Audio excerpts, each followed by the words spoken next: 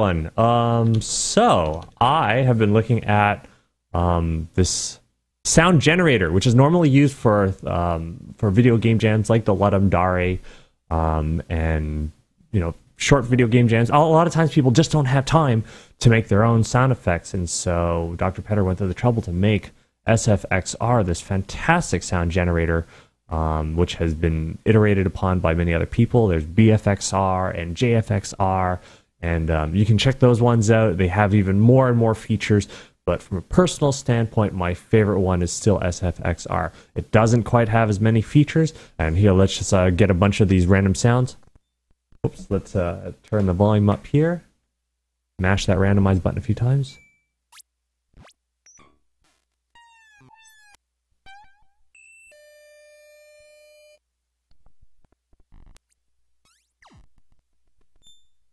So it's pretty good at making like these like pick up coins.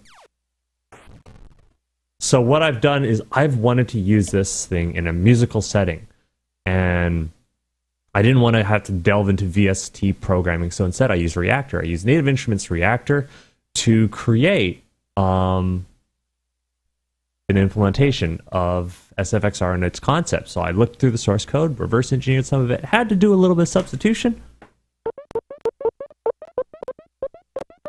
And now I've made well basically a synth of this whole thing. I've I've went through and you know there's the um there's the volume slides and there's vibrato and all those things. I looked through it, tried to apply them uh, in the same order. I tried to be as faithful to the original as I could. Still had to do some tweaking. Now you can hit the randomize button to, to randomize your own snapshots.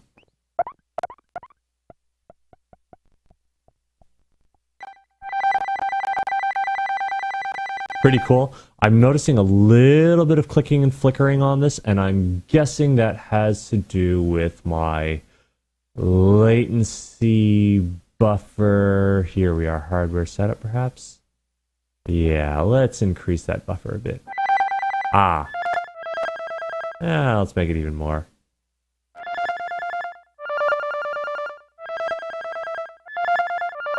There we are. Looks like the underruns are gone now.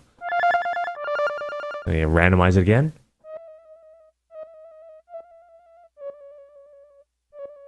Is that loud enough for you guys?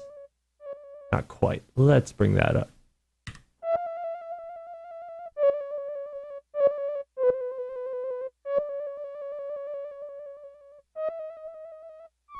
And the nice thing is that I can actually use the keyboard and I can play different tones on it, so...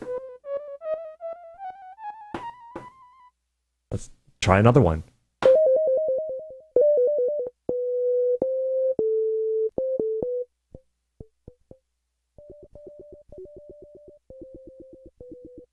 Turn down the uh, the phaser and flanger. Could also be that the cutoffs are too little too high. Ah, yeah.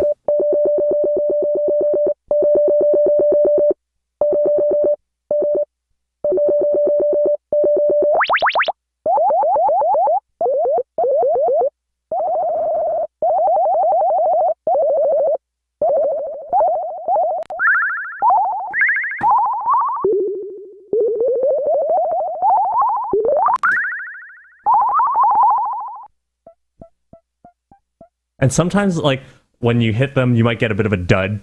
Mine's not quite as good as his is at generating. I think I still have to go in there and change the way that that the uh, random values are being interpreted.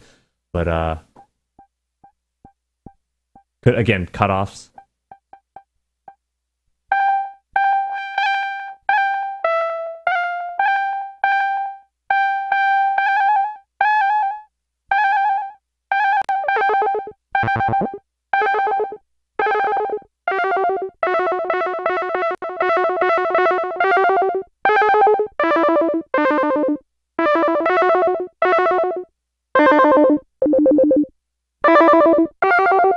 So, what a fantastic tool this is for just being able to come up with all kinds of crazy sounds.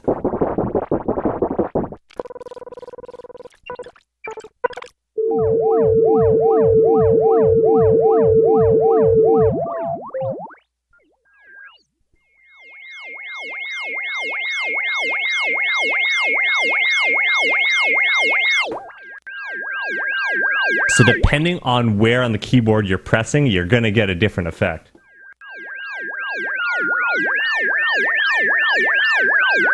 There's a pitch bender, so I'm using that.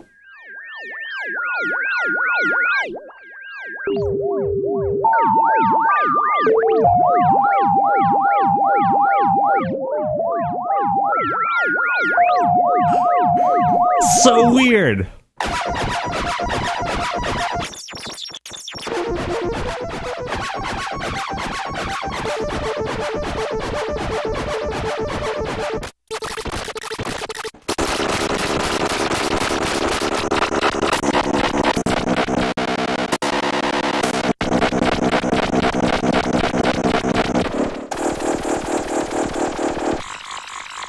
Oh man.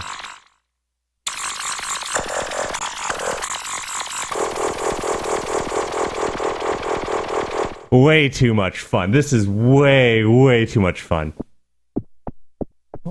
And sometimes, again, it's like it's a bit of a dud, but that's okay. I mean, don't give up on your duds. Go in there.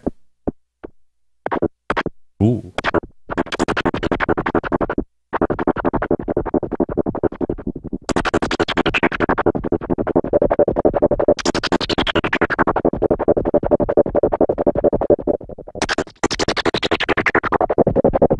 Cool. There's a bit of there's a bit of like a voice, like a vocal kind of formant in there.